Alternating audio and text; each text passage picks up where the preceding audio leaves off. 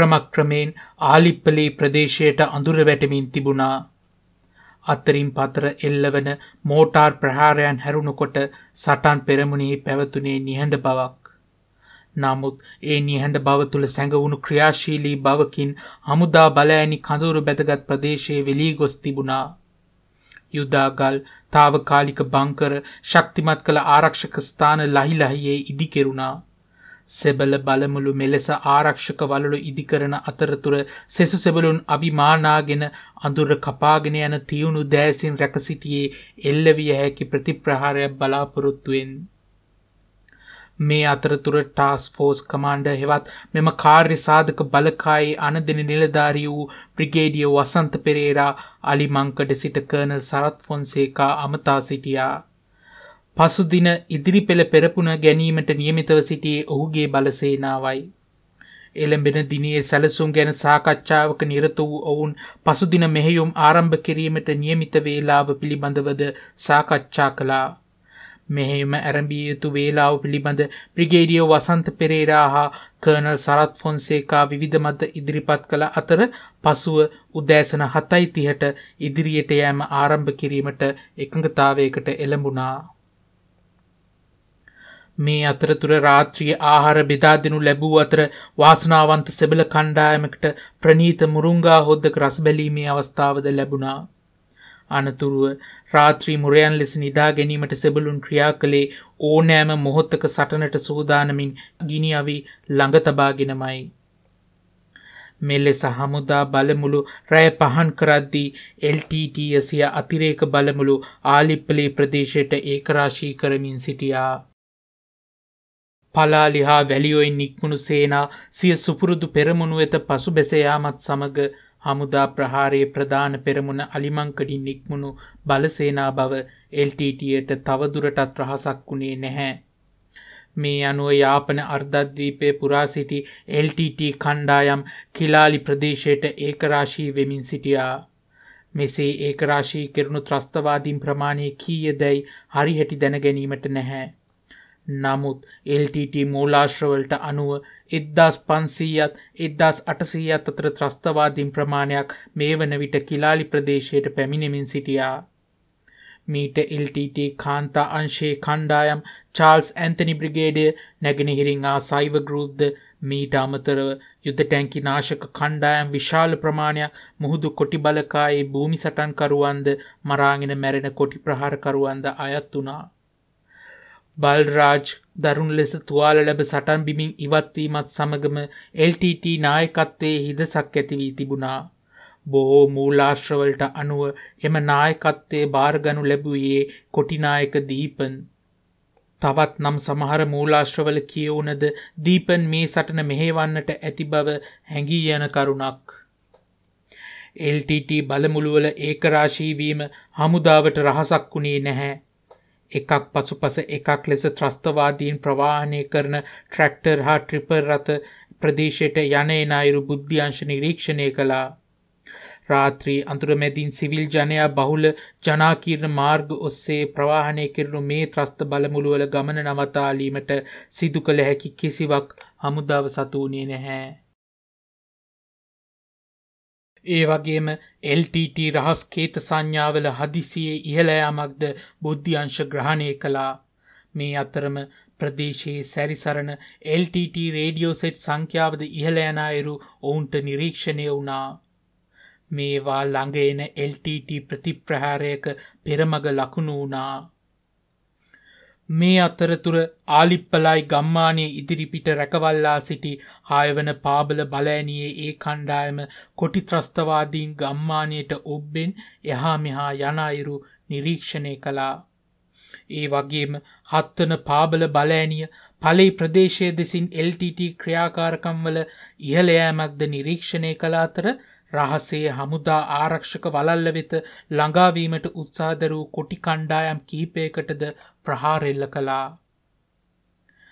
මේ වන විට LTT ත්‍රස්තවාදීන්ට නායකත්වය දෙමින් සිටියේ දීපන්. ඒ වගේම යුද්ධපුවත් වාර්තාකරුවෙකු වූ ඉක්බල් අතාෂ්ට අනුව චාල්ස් ඇන්තනි බ්‍රිගේඩයට නායකත්වය සැපීමට ඉදිරිපත්ව සිටියේ කරුණාම්මාන්. මේ අනුව ත්‍රස්තනායක දීපන් සිය කොටි කණ්ඩායම් හමුදාව ඉදිරියට ඇදීමට නියමිත මාර්ගය ඔස්සේ ස්ථානගත කිරීම සිදු කළා. මේ අනුව මාර්ගයේ ඉදිරිපස වූ භූමිය ඔස්සේ කොටි කාන්තා බලකායේ සාමාජිකාවන් ස්ථානගත කොට තිබුණා. ඒ වගේම යුද තැන්කි නාශක කණ්ඩායම් හා මරාගෙන මැරෙන කොටි බෝම්භකරුවන් හමුදා පෙරමුණෙහි වම්පස ඔස්සේ වූ ලඳු කැලෑවෙහි ස්ථානගත කොට තිබුණා. සමහර විට වෙරළබඩ ඔස්සේ වූ මේ මාර්ගය දිගේ ඇදෙන යුද ටැංකිවලට පහරදීම LTTේ අරමුණ වන්නට ඇති. ඒ වගේම මෙම යුද්ධ ටැංකි නාශක කණ්ඩායම් හා මරාගෙන මැරෙන කොටි බෝම්භකරුවන් හමුදා නිලෑඳුම්වලට සමාන හැඳුම් පැළඳ සිටි අතර එය ඉදිරි සටනේදී තීරණාත්මක සාධකයක් වූවා. මෙලෙස එද්දාස් නමසය අනුතුනේ සැප්තැම්බර් විසිනමෝන දිනට රැය පහන් වෙමින් තිබුණා. එදින හිරූදාවන විට යුද හමුදා බලෑනි සිය කඳවුරු බැඳගත් ප්‍රදේශය හෙවත් හාබර්ඩේරියයකෙන් නික්ම කොටි බල ප්‍රදේශයට ඇතුළුවීමට සූදානම් වෙමින් තිබුණා. මෙදින ඉදිරි පෙරමුණගෙන ඉදිරියට ඇදීමට නීමිතව තිබුණේ කර්නල් සරත් ෆොන්සේකා අනදුන් බලසේනාවටයි. ඒ අනුව මේජ ලක්සිරි අමරතුංග අනදුන් හත්වන සිංහ බලෑනිය කලපුව දෙසින්ද ලෙෆ්ටිනං කර්න සනත් කරුණාරත්න අනදුන් පළවන සිංහ බලෑනිය ගොඩබිම දෙසින්ද ඉදිරියට යාමට පලෙයි මාර්ගය ඔස්සේ පෙළ ගැසමින් සිටියා. මෙම බලසේනාවට සංක්‍රමික ආධාරක වෙඩිපලය හෙවත් මොබයිල් ෆයිල් සපෝට් ලබාදීමට නියමිත වුණේ හතරවන සන්නාව සන්නද්ධ බලෑනියේ මේජ බේ පෙරේරා අනදුන් බ්‍රාවෝ බලගනයට අයත් ටී පනස් පහ යුද ටැන්කි දහයකින්. මේ බලගනයේ ටරූප් එකක් හෙවත් යුද්ධ ටැන්කි තුනක් හත්වන සිංහ බලෑනිය සමගත් තවත් ටරූප් එකක් හෙවත් යුද්ධ ටැන්කි තුනක් පලවන සිංහ බලෑනිය සමගත් ඉතිරිවන කමාන් ටරූප් බලසේනා මූලස්ථානය සමගත් ඉදිරියට ඇදීමට නියමිත වුණා. මීට අමතරව ආමඩ් පර්සන කැරියස් වූ පෆල් රථ තුනක්ද පළවන සිංහ බලෑනයේ සහයට ලබාදී තිබුණේ දකුණු පෙරමුණට වන්නට පිහිටා තිබූ කොටි කඳවුර දෙසින් එල්ලවිය හැකි ප්‍රතිපහාරයක් නිසාවෙන්. මේ අතර එළඹෙන දිනේ පැති ආරක්ෂාව ලබාදීමට නියමිත වූ තුන්වන පාබල බලෑනිය මුහුද දෙසින්ද හයවන ගැමුණු හේවා බලෑනිය ගොඩබිම දෙසින්ද ඉදිරියට ඇදීමට සූදානම් විමින් තිබුණා.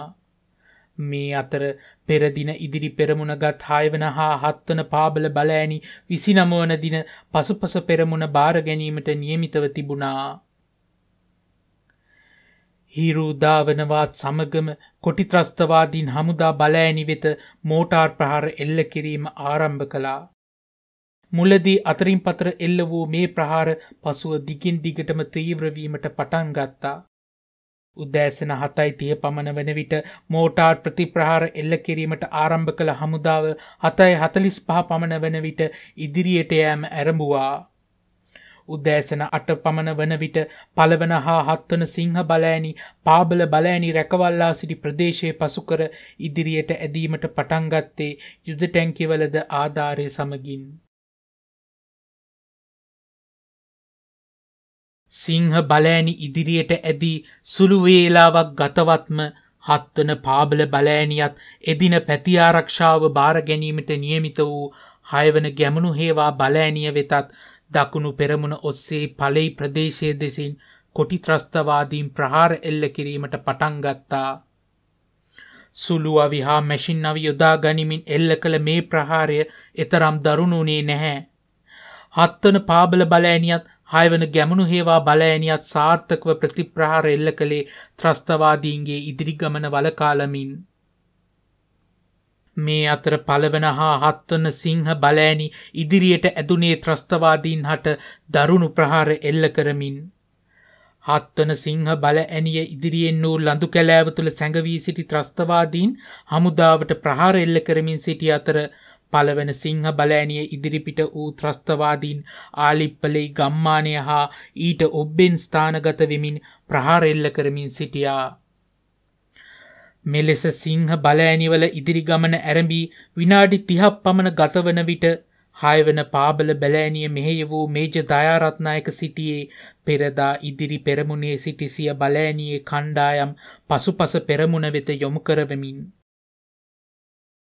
මේ අනුව කැප්ටන් කුමාරගේ අනදුන් බී කණ්ඩායම වම් පෙරමුණ ඔස්සේ පලෙයි මගෙන් පිටුපසටත් කැප්ටන් HT සිල්වා අනදුන් ඩී කණ්ඩායම ඊට මදක් දකුණු පසට වන්නටත් ස්ථානගත කෙරුණා.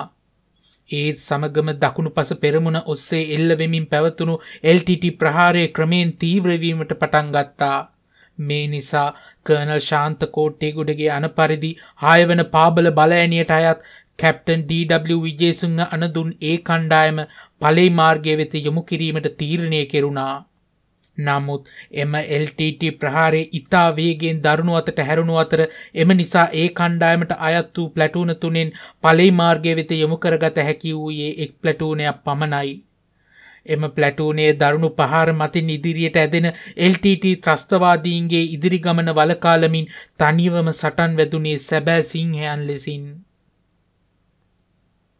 මේ අතර පළවෙන සිංහ බලෑනිය යුද ටැන්කි හා බෆල් රථවල ආධාරයෙන් ඉදිරියට ඇදුනේ LTT ත්‍රස්තවාදීන්ගේ බලය ආලිප්පලේ ගම්මානයෙන් උදුරා දමමින්.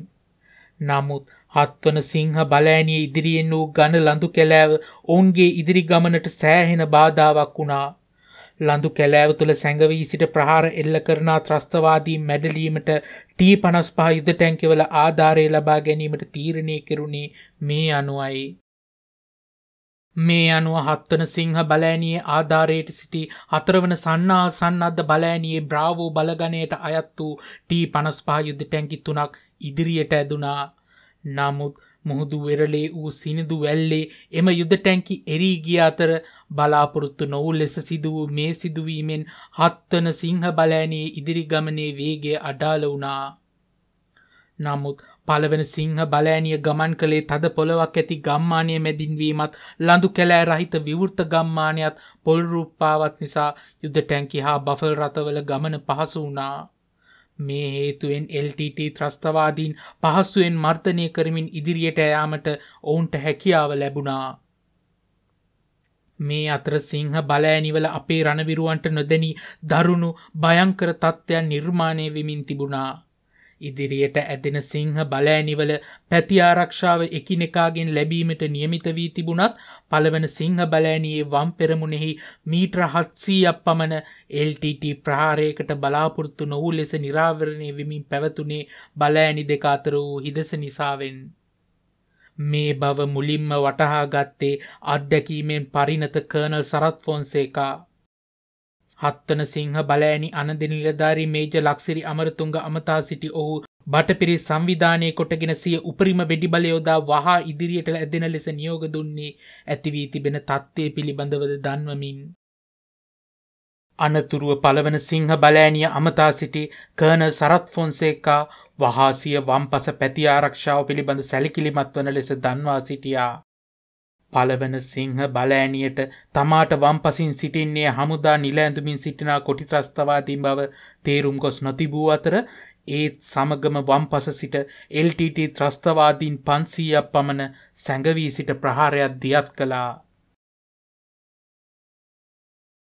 ඇම්බුෂ් එසේත් නැත්නම් සැඟවී සිට එල්ල කරනා ප්‍රහාර ප්‍රධාන ප්‍රබේද දෙකකින් යුක්තයි. ඒ මීට්‍ර පණහට අඩු දුරක එනම් ග්‍රනේඩ විසි කළ හැකි දුරක සිට එල්ල කරනා නිය ඇම්බුෂා මීට්‍ර පණහකට වැඩි දුරක සිට එල්ල කරනා ෆා ඇම්බුෂණ ප්‍රබේද. ඊට අමතරව යුනි ඩිප්ලොයිමන්ට් හෙවත් ප්‍රහාරක එකක ස්ථානගත කිරීම අනුව ලීනිය එල්ශෙප් වීශේප් වැනි අනු ප්‍රබේදවලටත් පෙර සූදානම අනුව හේස්ටි හා ඩෙලිබරේට් ලෙසත් ඉලක්කගත ප්‍රදේශයට අනුව පොයින්ටන් ඒරයා ඇම්බූෂනාදී ලෙසත් වර්ගීකරණය කෙරෙනවා. තේරුම් කිරීමේ පහසුව තකා මෙහිදී නිය ඇම්බුෂ් වර්ගයට අයත් ඩෙලිබරේට් ලීනිය පොයින්ට ඇම්බුෂ් නම් වූ සැඟවී සිට පහරදීමක් අපි සලකා බලමු. මදකට හිතන්න ඔබ සහෝදර සෙබල කණ්ඩායමත් සමඟ ඉදිරියට ඇදමින් සිටිනවා කියා. එක්වරම ඔබ ඉදිරියට ඇදෙනා මාර්ගයට වම්පසින් නිය ඇම්බුෂ් වර්ගේ සැඟවී සිට ප්‍රහරදීමකට ඔබ ලක්කනෝ අයයි සිතන්න. ඔබ දැන් කළ යුත්තේ කුමක්ද. ඔබට කළ හැකි දේවල් පහක් තිබෙනවා. සිටි තැනම ඩවුන් ගොස් එසේත් නැත්නම් බිමදිගාවී ප්‍රතිප්‍රහාරෙල්ල කිරීම සතුරා සිටින දිශාවට විරුද්ධ දිශාවට ප්‍රතිප්‍රහාර එල්ල කරමින් පසු බැසයාම තමන් ගමන් කරමින් සිටි දිශාවටම ප්‍රතිප්‍රහාර එල්ල කරමින් ගමන් කිරීම තමන් පැමිණි දිශාවට ප්‍රතිප්‍රහාර එල්ල කරමින් පසුබැසයාම සතුරා සිටිනා දිශාවට ප්‍රතිප්‍රහාර දෙමින් ගමන් කිරීම. මේ පහෙන් ඔබ සිදු කරන්නේ කුමක්ද? මදකට මේ වීඩියෝ නවතා හොඳින් හිතන්න. ඔබ තීරණයකට ආවාද? හොඳයි අපි බලමු වඩාත්ම නිවැරදි තීරණය ඔබේ තීරණයද කියා. ඔබට සැඟවී සිට ප්‍රහාර එල්ල කරන සෑම සතුරු අවිකරුවෙකු හටම ෆිල්ඩ් of ෆය එසේත් නැත්නම් ප්‍රහාරක කලාපයක් තිබෙනවා. මෙම ෆිල්ස් of ෆය අතිපිහිත වන ප්‍රදේශය කිල්සෝන් එසේත් නැත්නම් මාර්ක කලාපය ලෙස හඳුන්වනවා. සාමාන්‍යයෙන් සැඟවී සිට පහරදීම ආරම්භ කරන්නේ ප්‍රතිවාදීන් සියල්ල හෝ බහුතරය මෙම මාරක කලාපය තුළට පැමිණි විටයි. දැන් අපි බලමු පළමු අවස්ථාව හෙවත් සිටි තැනම සිට ප්‍රතිප්‍රහාර එල්ල කිරීම පිළිබඳව. සැඟවී සිට ප්‍රහාරය ආරම්භ කරන විට ඔබ සිටිනා තැන අයත් වන්නේ සතුරාගේ කිල්සෝන් හෙවත් මාර්ක කලාපේටයි. මෙහි සිටිනා සෑම මොහොතක් පාසාම අතිපිහිත වූ ප්‍රහාරක කලාපයන් දෙකකට හෝ කිහිපයකට ඔබ නිරාවරණය වන අතර ඔබට ඇති අවධානමද අතිවිශාලයි. එම නිසා ඔබගේ මූලික ප්‍රමුඛතාවේ හිමිවිය යුත්තේ මාර්ක කලාපයෙන් හැකි විකස ඉවත්වීමට මිස තවදුරටත් එහි රැඳී සිටීමට නොවෙයි. එම නිසා පළමු විකල්පය වූ සිටි තැනම සිට ප්‍රතිප්‍රහාරදීම නිවැරදි තීරණය නොවෙයි. දැන් අපි දෙවන විකල්පය සලකා බලමු. සතුරා සිටින දිශාවට විරුද්ධ දිශාවට ප්‍රතිප්‍රහාර එල්ල කරමින් පසු බැසයෑම. මෙහි සතුරා එල්ල කරන ප්‍රහාරයේ ප්‍රහාරක කලාප අතිපිහිත වන ප්‍රදේශය මාර්ක කලාපය හෙවත් කිල්සෝන් ලෙසමා හැඳින්වූවා ඔබට මතක ඇති. ඊට ඔබ්බෙන් නැති මේ ප්‍රදේශය දෙස බලන්න. එහිදී ප්‍රහාරක කලාපයන් වඩ වඩාත් අතිපිහිත වන අයුරු ඔබට නිරීක්ෂණය වනවා ඇති. එම ප්‍රදේශය වඩ වඩා තවදානම් වන අතර මේ අනුව එම ප්‍රදේශය ඔස්සේ පසු බැසීම අතිශය භයානක බව ඉතා පැහැදිලි කරුණක්. වඩාත්ම වැදගත් කරුණ වන්නේ නොපුහුණු හෝ ආධුනික අයෙකු හෝ බියට පත් වූ අයෙකු නිරායාසයෙන්ම සිදු කරනා දේවන්නේ මේ ප්‍රදේශය හරහා පසු බැසීමට උත්සාහ කිරීමයි. නමුත් ඔබට ඇති විකල්පතුරින් ගත හැකි අතිශ්‍යය අවදානම් පියවරත් ඒ බවත් ඔබට නැවත මතක් කළ යුතුයි. මීළඟට අපි තුන්වන හා හතරවන විකල්ප සලකා බලමු. සාමාන්‍යයෙන් සැඟවී සිට කරනා පහරදීමකදී හයිරේට ෆය එසේත් නැත්නම් වැඩිම ප්‍රහාරක බලයකිනුත් අවි ඔබ්ලික් ෆිල්ස් of ෆය ආකාරයට ආනතව ස්ථානගත කෙරෙනවා. මේ නිසා මෙම අවිවල ප්‍රහාරක කලාපයන් ඔස්සේ පිටවීමට හෝ පසු බැසීමට උත්සාහ කරන විට මෙම අවිවල ප්‍රහාරයන්ට පාත්‍රවීමට අනිවාර්යෙන් සිදුවනවා. මීට අමතරව මෙවැනි ප්‍රතික්‍රියාවක් බලාපොරොත්තුවෙන් සැඟවී සිට පහර දෙන කණ්ඩායමට අමතරව සිකරිටි ටීම්ස් දෙපසින් යොදවන නිසාවෙන් තුන්වන හා හතරවන විකල්පද එතරම් සාර්ථක ඒවා නොවෙයි. එසේ නම් අවම අවධානමකින් සතුරු ප්‍රහාරයේ මාර්ක කලාපයෙන් ඉවත්වන්නේ කවරාකාරයකින්ද. මීට හොඳම විකල්පය පස්සන තීරණයයි. ඔබ සතුරාට ලම්වන තරමට ප්‍රහාරක කලාපයන්ගේ අතිපිහිතවීම අවමවනවා පමණක් නොව සතුරා පුදුමයට පත් කරමින් ප්‍රතිප්‍රහාර එල්ල කිරීමටත් අවස්ථාව සැලසෙනවා. නමුත් නිරායාසයෙන් මෙන පෙළඹීම්වලට හා හැඟීම්වලට පටහැනිව පසු බැස නොයා සතුරා දෙසට ප්‍රහාර එල්ල කිරීම පහසු දෙයක් නොවෙයි. එයට සාධක තුනක් සැපිරීම අවශ්‍යයි. 3Cs ලෙස හඳුන්වන මේවා වන්නේ එක කමාන්ඩන් කන්ට්‍රෝල් හෙවත් අනදී මහා පාලනය දෙක යුනිකහීෂන් හෙවත් ඒකක සංවිධානය තෙවනුව කන්ෆිඩන්ස් හෙවත් ආත්ම විශ්වාසයයි. සාමාන්‍යයෙන් නිතර කියවන දෙයක් වන්නේ unlike moral confidence can be trained යන්නයි. ධෛර්යමෙන් නොව ආත්ම විශ්වාසය පුහුණු කළ හැකි යන්න හි තේරුමයි.